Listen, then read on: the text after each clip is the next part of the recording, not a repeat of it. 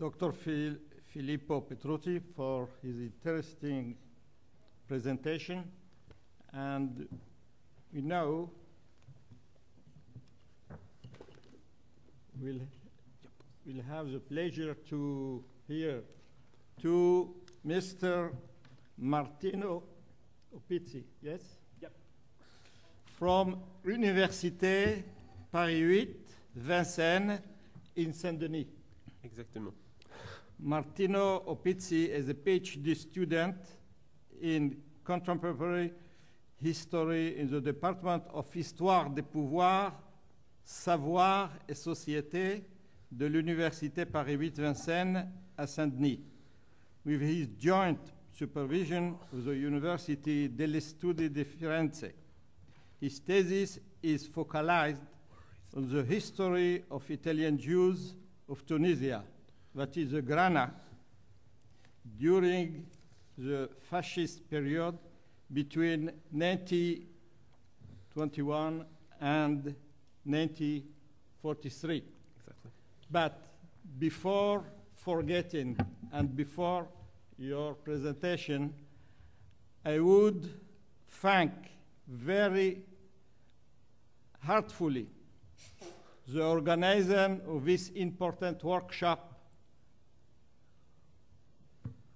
on which is another landmark in the study of North African Jewries under the suffering of Holocaust, under the Nazi, fascist, and Vichyst regimes. I would name Professor, my friend and colleague, Professor Chaim Saadun. I would thank too Tamar Fuchs, the coordinator of the Center of Documentation, and all their staff at the Institute Ben including Mara. She is among us. And uh, really, Uh, many, many thanks for you. But the success of the workshop means one thing. We went for the continuation, for the followed workshop. Thank you very much. To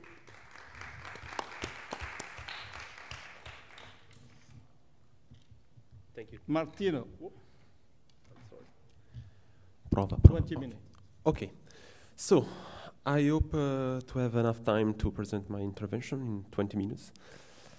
Uh, before this, I want to present my the outline of my presentation. Uh, first, I will present the Nazi-fascist occupation of Tunisia very shortly in 1942-43. Then I will describe the fabrication of the memory among Tunisian and Italian Jews in a uh, comparative perspective. Then I will show the stake of a selective memory among uh, Livornese Jews. And finally, I will conclude with, uh, if I have enough time, a short reflection about the importance of memorial sources uh, in uh, the Livornese uh, community. So, very shortly, I, I'd like to uh, present the historical context of Tunisia in World War II because uh, uh, Tunisia experienced several political regimes during the war. So, I, as regard my presentation today, I will focus on the period of uh, Nazi-fascist occupation because uh, it's the only one where Italian authorities exercise a direct power, and so where uh, uh, they had a direct responsibility. So we have talked uh, about uh, Libya and Tunisia is under the Italian authority only during six months between November 42 and May 43. So, but before this, I will present, uh, present us, uh, also the social context of uh, Jewish population of uh, Tunisia before and during the war. Traditionally, there were uh, two communities in Tunisia, very different. There was the Tunisian community and the Livornese one. Here, here can, we, we can see two photos of the member of the two communities before the war. And the statistical differences reflect a bit the distance between the two Jewish, Jewish community. In fact, for example, the Tunisian community was composed by about 60,000 people, according to Paul Sebag estimation, while uh, the Livornese community was composed by much less uh, individuals, about uh, 4,000 people, according to the most recent uh, estimation. And moreover, uh, the presence uh, in Tunisia of uh, Tunisian Jews was very ancient. Uh, they, was, uh, they were installed in Tunisia since the Classical Age, while the Livornese Jews was, were installed in Tunisia since the 17th century from the Italian port of Livorno for the most part. But maybe the, the most important difference was that uh, while Tunisian community was involved in a process uh, of modernization only in recent times, Livornese Jews were uh, involved in the same process very early since the modern age, which uh, caused the weakening of the religious ident identity and the parallel de development of uh, a very strong patriotic feeling towards Italy. And this is central to understand the different Uh, the different fate under the Nazi-fascist occupation. So as uh, uh, we, had, we have already mentioned also by the intervention of Mr. Roumani, the, well, the, the landing of Allies forces in Algeria caused the Axis troops uh, causes the, the occupation of Tunisia in November 42 by Axis troops. So even uh, though the, occupation was made by an Italian-German authority, most, of the real power was uh, in the hand of Germans. And so a strong and violent action against uh, Jews uh, was uh, very early established by Walter Rauff, who in December 42 arrests uh, the heads uh, of Jewish community, forcing them to recruit uh, 2,000 Jews uh, to work for the very next morning. and so the photo I choose uh, for represent this persecution show, shows the Jews of Tunis uh, sent to the forced labor in December 42. And I want to clarify the, the, different fate under the occupation between uh, Tunisian Jews and Livornese Jews, because if Tunisian Jews suffers the consequences of uh, the direct persecution, with, uh, which means uh, deportation in war camps uh, uh, for, for 4,000 Jews, the systematic sacking of Jewish properties, murders, violences, and so, Livornese community suffers a relative moderate oppression because of the quick intervention of the Italian consul Giacomo Silimbani.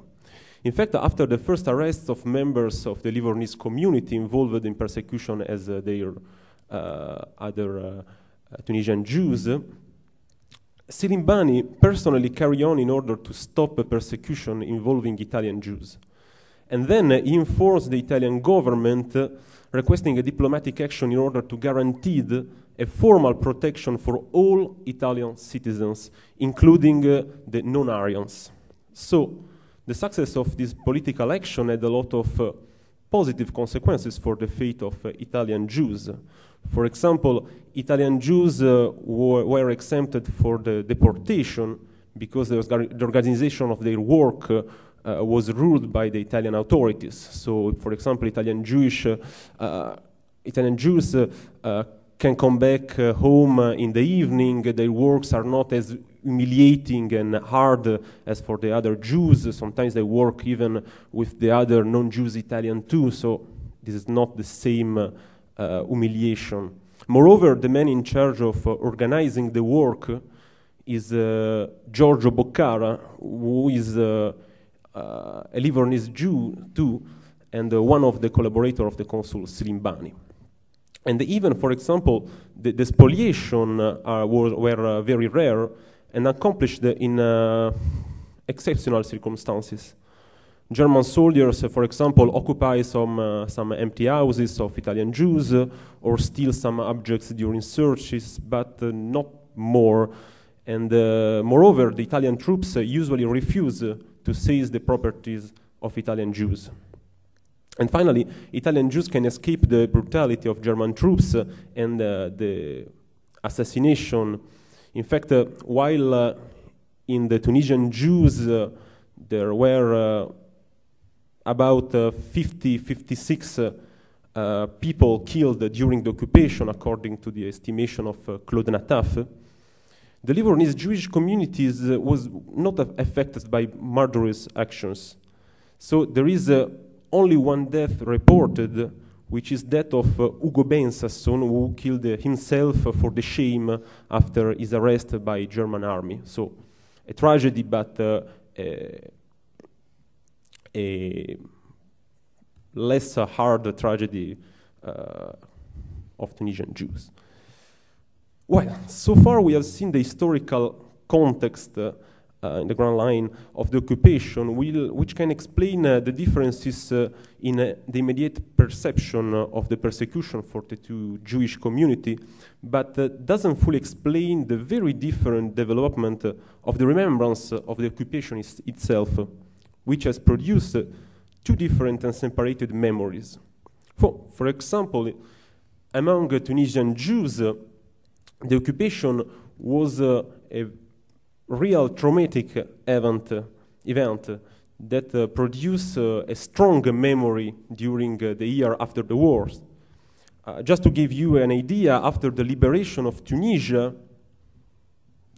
with a lot of publication after the occupation and uh, even during the war, so uh, I, I want to stress this fact that two publication on the occupation suffered by the Tunisian Jews uh, were uh, uh, made by the witnesses of the occupation while the war is still. So in 1943, Paul Guedes with uh, six, months, six mois sous la botte, and in 1944, the book of Robert Borgel, Étoile jaune et croix gammée.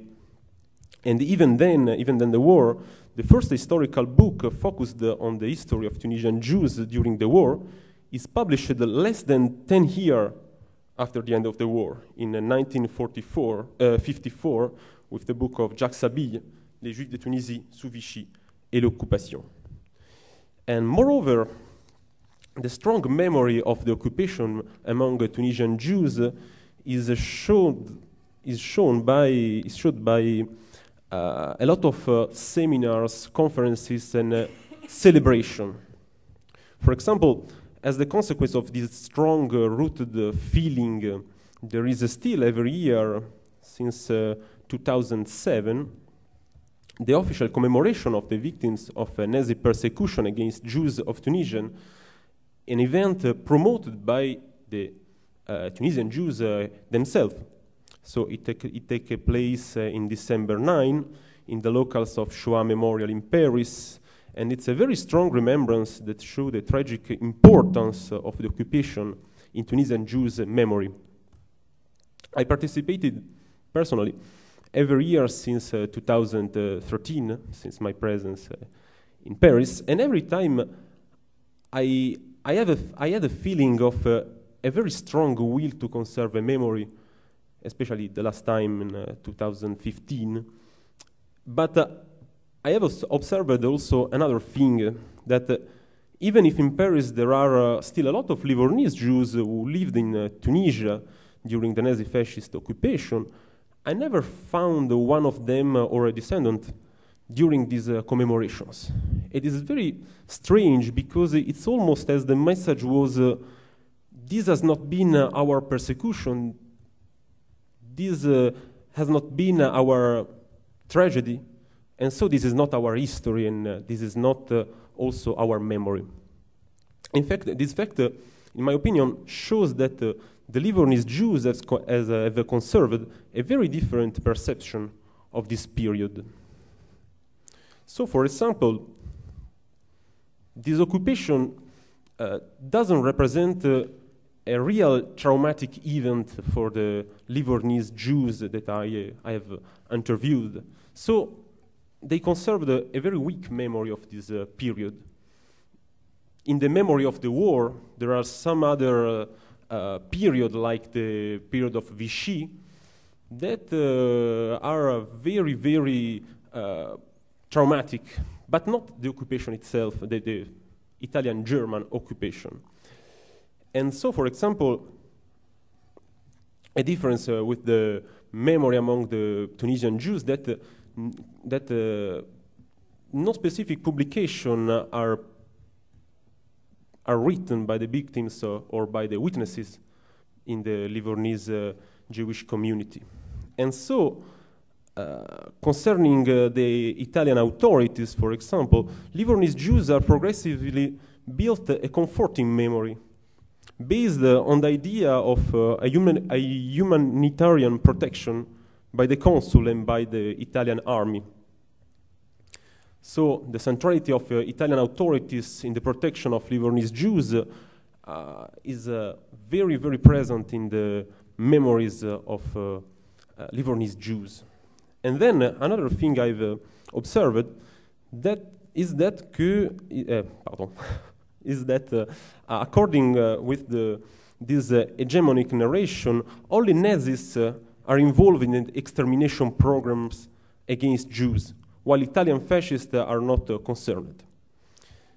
And so this appears in uh, a lot of written memory of the period, like uh, the, the, the book uh, mentioned by, by, by my by, oh, I'm sorry, uh, by Petrucci. I'm sorry. I'm, huh? Okay. So, for example, the, the, book of Bruno Lumbroso, Histoire de la famiglia Lumbroso, uh, the book of uh, the other books uh, from uh, Giacomo Nunez or Elia Boccara uh, doesn't uh, doesn't accuse the, directly the Italian authorities. And this appears, this appears uh, also in oral memories, uh, and I give you some examples.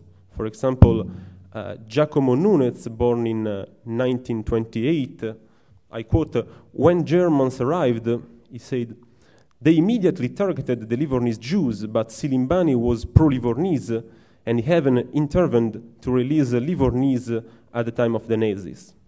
Another uh, witness of this event uh, Bruno Lumbroso remembered that Germans took his brother Marco in December 42 to send him uh, to the labor camp in the southern Tunisia with the other Italian Jews. But uh, thankful to Silimbani, they were liberated. So he said, uh, I quote, We have later learned that the fascist consular authorities intervened in favor of Italian Jews. The consulate unofficially let us know that nothing will be done against us. So in the memory, there is uh, this uh, very strong presence of the Italian authorities like uh, a very uh, important protection against uh, Germans. So another thing I have uh, observed that, that this remembrance of the occupation caused a selective memory, a memory that cut off all negative judgment on the Italian authorities in Tunisia during the occupation. And so it's important, in my opinion, because even uh, after the war, when uh, a lot of uh, studies show that uh, the Italian authorities was not so good as uh, remembered, like for example in the in the works of Daniel Carpi, Romana Rainero, and uh, Filippo Petrucci, the memory the, the gap between the memory and the history is uh, is been uh, is uh, is too much uh, stronger. The, I, I mean, the time instead to bridge uh, the, the, divergence between memory and history confirmed and reinforced uh, this break.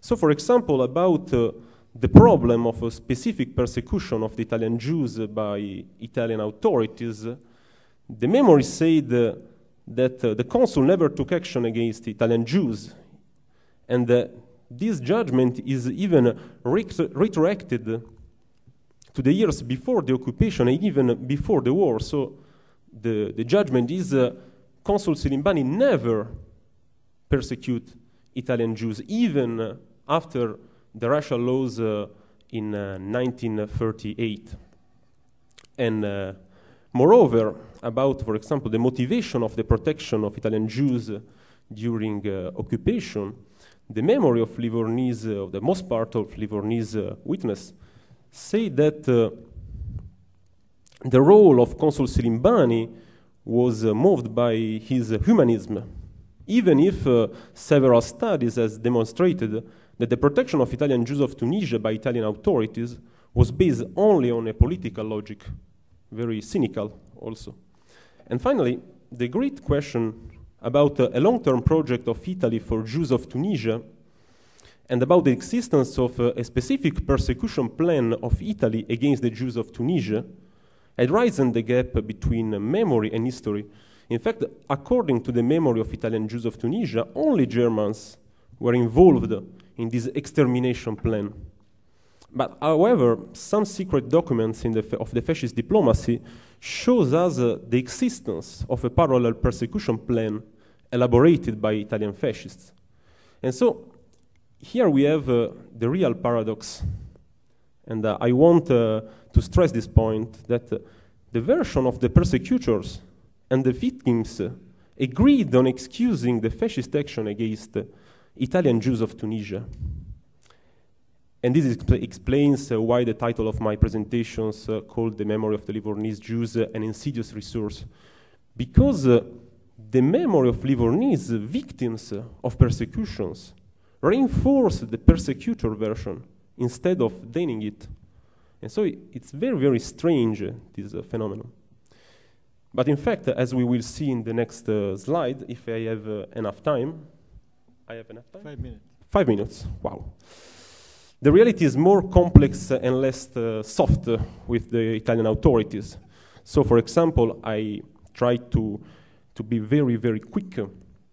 The, instead of an absence of uh, anti-Semitism by the Italian authorities, I, I observed that uh, Italian consul Silimbani apply an elastic anti-Semitism. So, for example, during the first period between uh, the racial laws uh, in Italy and the beginning of war, the beginning of war, Italian consul Silimbani tries to apply anti-Semitic laws to the Italian community. So there is a, a real uh, project of persecution, an action of persecution against Italian Jews.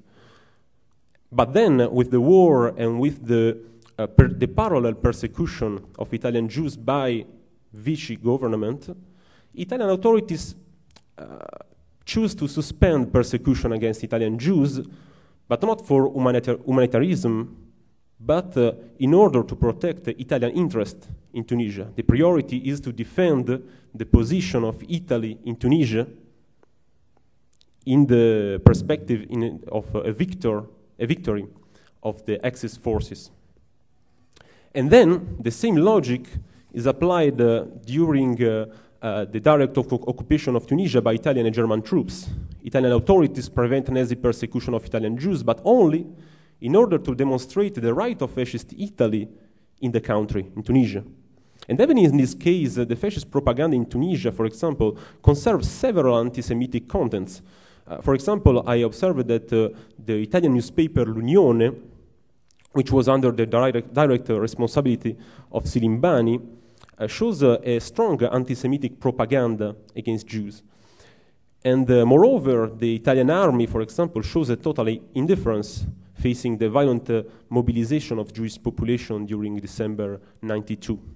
So, as we have seen, the protection has nothing to do with uh, sentimentalism of Italian consul.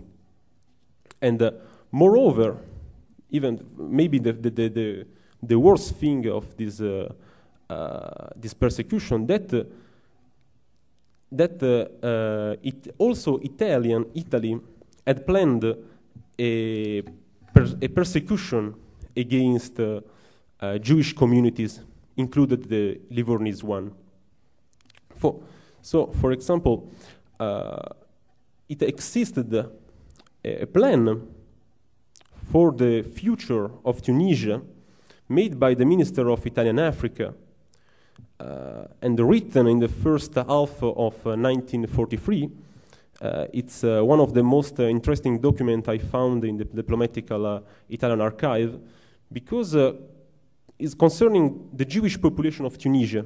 So it's, it's the plan uh, in, uh, of, the, of the Italy in the event of victory of Axis forces. It's a plan uh, which included racial measures against all Jews, including the Italian ones. So, for example, I quote for uh, concerning the non-Italian Jews, these documents say that uh, supporters, uh, these, uh, the, the, the Tunis Tunisian Jews are supporters of each kind of sub subversion, greedy speculators, anti-fascist diehards. They are people to take off from Tunisia. take off, uh, the, the, real verb in Italian was allontanare. The on, on, the real meaning of this expression, uh, that may be or expulsion or extermination or both, probably. And uh, concerning the Italian Jews, uh, there is also a plan uh, not of expulsion, but uh, absolutely of submission. So the Livornese Jews uh, are considered like uh, Jews in Italy, so subjected of, of uh, with a tolerant application, but uh, that places Italian Jews in a state of uh, total subordination to the Aryan population of uh, the future Tunisia. So, as we have seen, uh, the memory of the occupation among the Livornese Jews has been very subjective and uh, with a lot of distortion. So the final question is, if I have enough time, just two minutes, which are the reasons of, these, uh, of the several oblivions on the narration of Nazi fascist occupation of Tunisia in uh, Livornese memories. And uh, the main reasons is that during the Second World War, the Italian Jewish community was involved in another traumatic event, event perceived as even worse than the Nazi fascist occupation. And this, this event was the deportation by French authorities uh, in 1940 and 1943. So a, per a persecution uh, based on uh, on uh, on the not uh, on religion but uh, on the citizenship. So the Livornese Jews was persecuted as Italian citizens. And so, hmm? conclusion. conclusion, conclusion. With a second reason that I want to to, to stress that the Italian protection was felt like a compensation against the shame of racial laws in 1948, uh, uh, a shock for the patriotic feeling of the Jewish uh, Italian community. Uh, the, the, the, I think that uh, if Italy protected Italian Jews during, during the occupation, it means that somehow Italian Jews are relevant for the Italian politics. And moreover, to the point of view of Italian Jews of Tunisia, the consular protection confirmed their vision of themselves as an elite of the in, in uh, the Italian community, which couldn't be persecuted by the Italian consul. And uh, so this is uh, the reasons of uh, the the creation of this uh, very particular uh, memory. So I have uh, also to spend, I have not enough time to, to, to talk about the, the importance of, and not only the limits of the memory, but I have not enough time. So the I next workshop. The next workshop, yeah, okay. I try. So thanks for attention and uh, thank you. Thank you.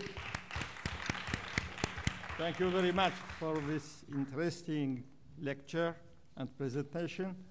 And uh, now to your comments and discussion. Yeah, the microphone. Yes.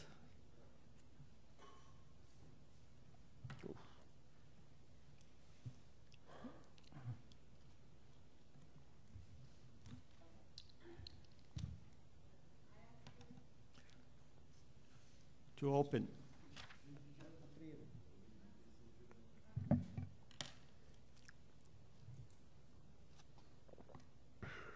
I ask you to be patient and uh, I want to speak in French because it's uh, too much uh, difficult to me.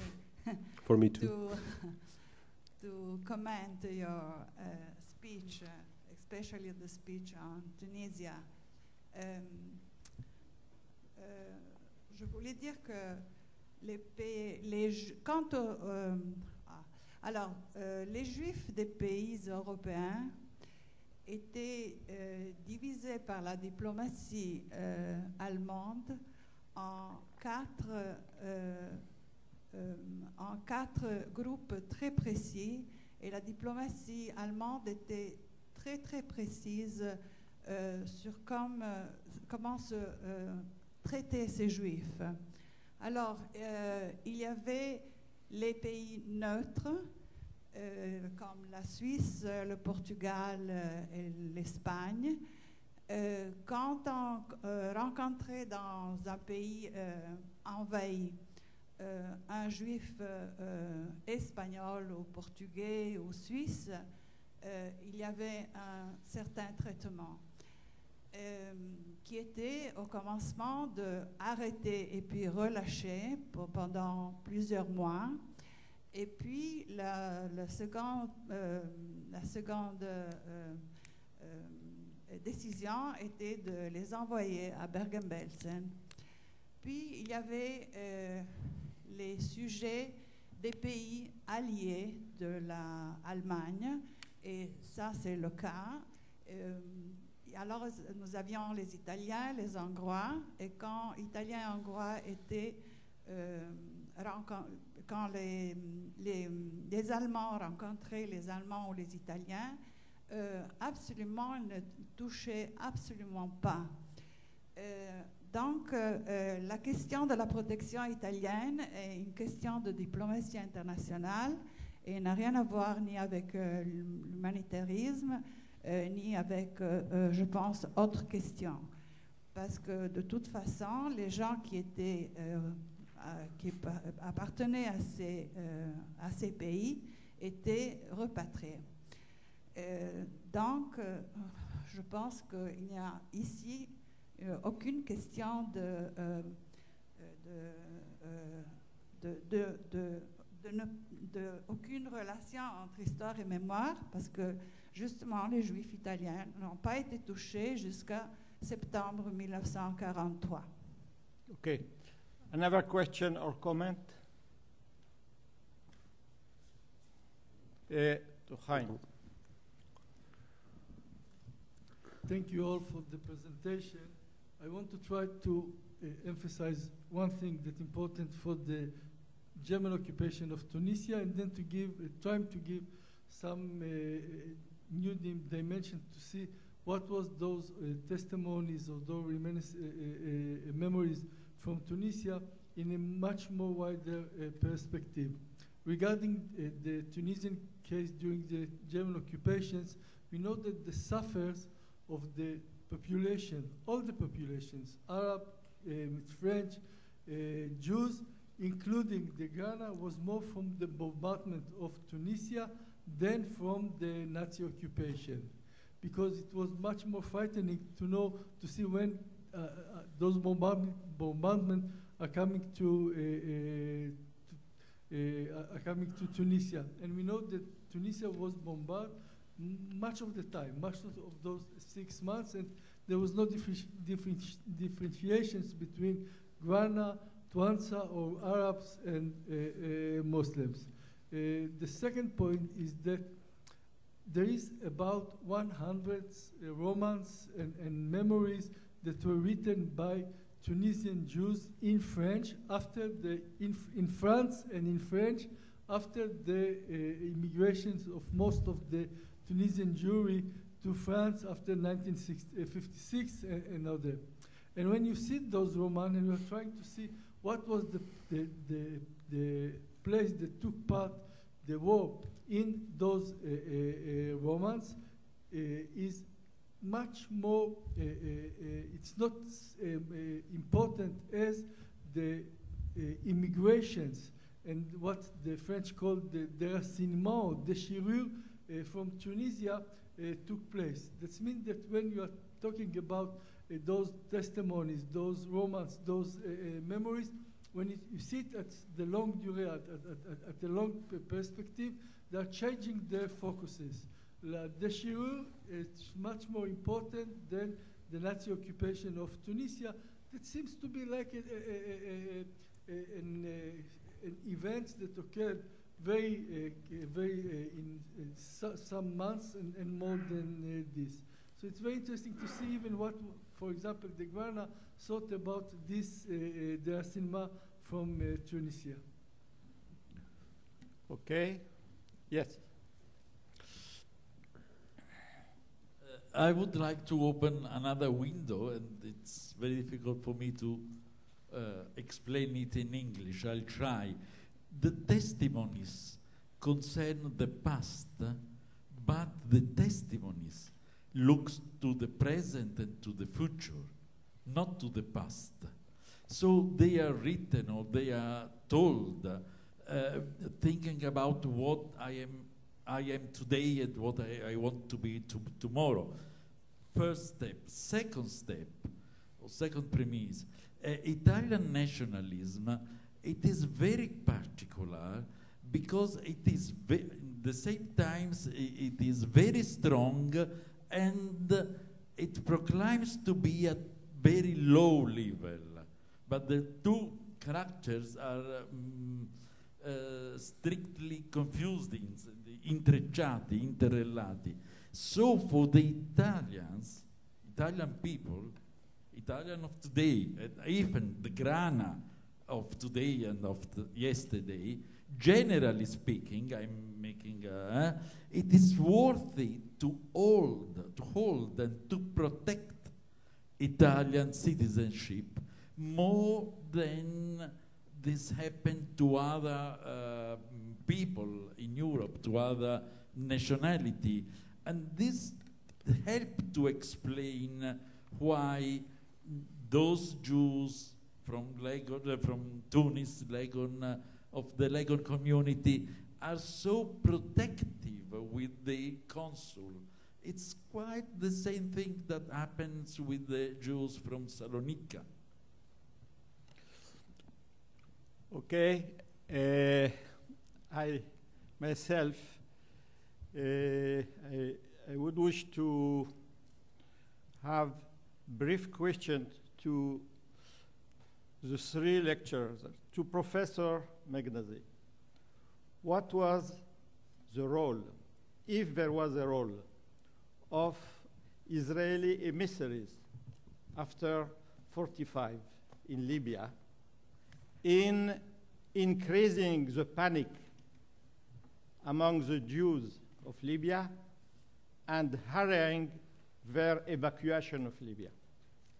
I, uh, I insist, if there was a, a, a role, because uh, in other, uh, uh, for Iraq, for example, uh, Israelis were accused to have in, increasing to having incre- in, increased, increased the panic among the Jews of Iraq for their uh, for hurrying their departure. To Filippo, what is the importance for you of your testimonies you uh, you made or you, you hear or you read?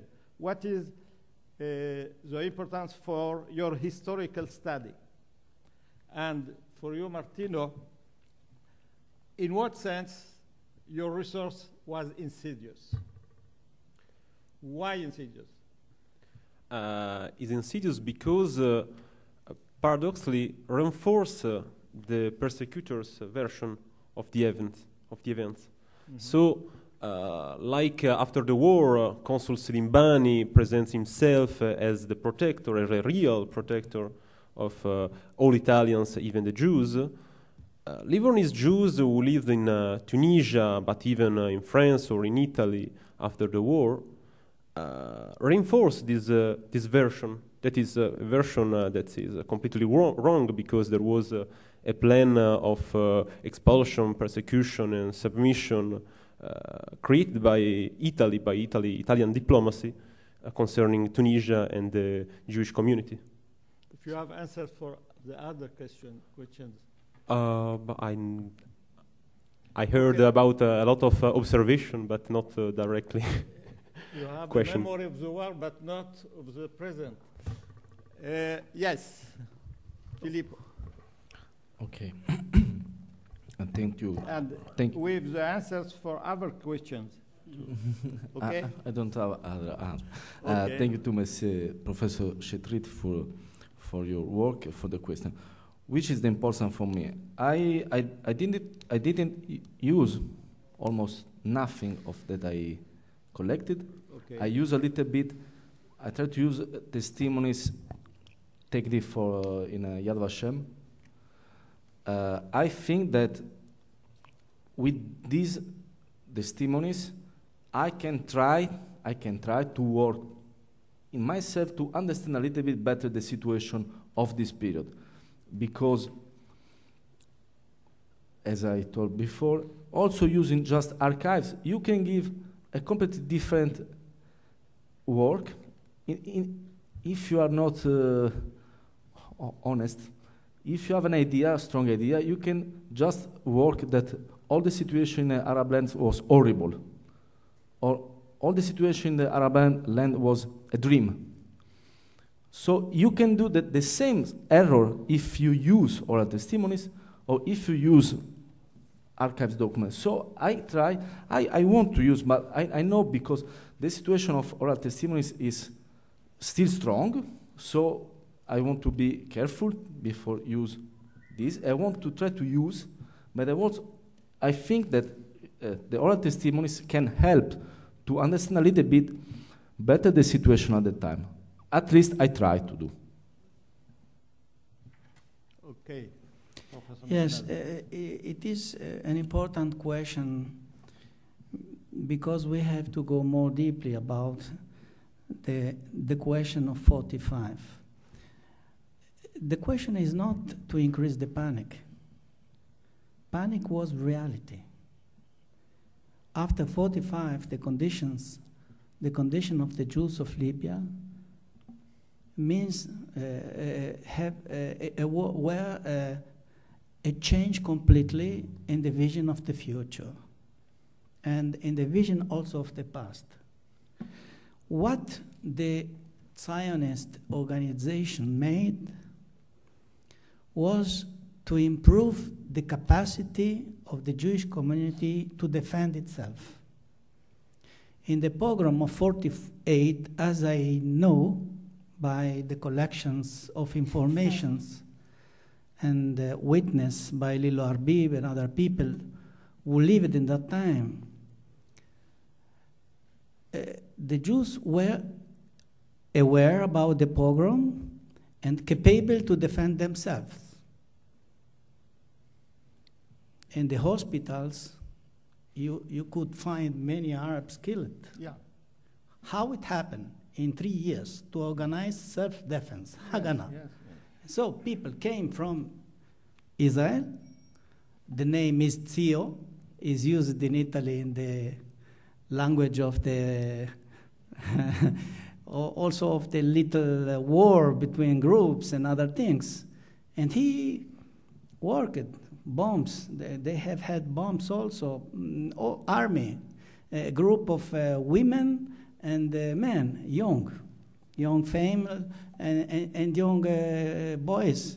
They were prepared for that for three years. But what it happened in the self-representation of uh, the Arabs national movement, directed by the kingdom, the future king uh, Senussi. Also for Senussi, the history of the Jews of Libya was something of the past. All the relationship between the two communities were to organize how to organize the transfer, how to organize the exodus, and to permit, to give the opportunity for the Libyans to work because all the activity, manual activity, I don't say about the, the rich uh, merchants and other things, I speak about the quotient activity. the Jews were obliged to teach the Arabs how to work. They gave their activity, they not just gave their activity, but they were obliged to teach, and that was uh, a decision directed by the British, the Jewish community, and the Arabs representative. It is something really uh, difficult to understand.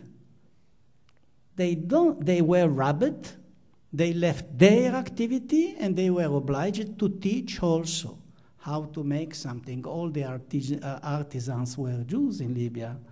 Uh, but not just in Libya, also in North Africa. And it was a tradition. All the activity, manual activity, was uh, uh, influenced by the Jewish tradition. So the artisans were Jews, and so the artisans were obliged to teach. And when I was a child, I, I knew that the activity of Soq al-Mushir and other places were, were Jewish activities. Were Jewish activities in years 20, in years 13, years 40. So I don't think that in Libya the question was how, of, of course, the agenda of the Jewish state after 44 was to have a Jewish immigration because 600,000 people were in the Jewish state in 48. And so the question after the destruction of the Jewish organization in Poland, in Russia, in all the other space of East Europe, where the Zionist movement grew in years 20, in years 30, it was completely collapsed, destroyed. They were obliged to find people for immigration. So we have other problems, and you talk about that, and also Romania spoke yesterday. But the question was how to have immigrants, immigrants the, from the east. 400,000 people came from the camps, the refugees in Europe, and about six, seven hundred thousand came from Morocco, from Baghdad. It was something connected also with the policy of the new state. But it is important to understand that in Libya, the question was not to create panic. The panic was reality. Collapsed completely every aspect of relationship between the two communities after 45, completely. And it is something that you can find in the songs. محلى السفرة بعد العيد امتى البحر يتشنى ما تقعدش في الحارة تدور يا يودي ما تقعدش في الحارة تدور جاك البابو my sister is here she songs all these songs she know she know very well all these songs she is here and she walked and uh, also wrote uh, the, the songs and for for different CD but it is important not to make confusion with the with Iraq and Egypt after 53 and 55 and 54. In, in Libya, the role, the activity of the uh, uh, Jewish emissary from, from, from Israel was to involve the Jewish community to organize self defense. And the chief rabbi of the uh, British Army told them after 45 in his speech said they have to learn Shema Israel. Mm. Don't say Shema Israel. Create a situation in, in, which the other were obliged to say Shema Israel. Mm. So it was a very important message to self defense. And the image of the Israel soldiers, the future Israel soldiers, in Libya was an important message. Yeah, yeah. And I think a double message, not just for the Jews, also perhaps for the Arab nationalistic movement. And it was a very dark time, very hard time.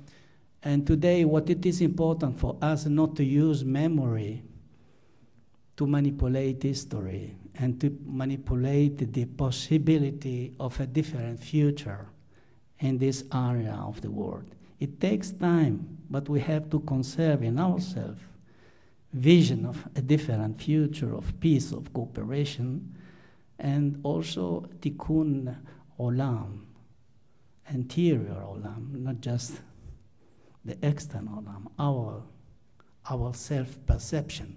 When uh, in, I connected Tel Aviv, Rome, and Israel and Tripoli, I understood that I became little free.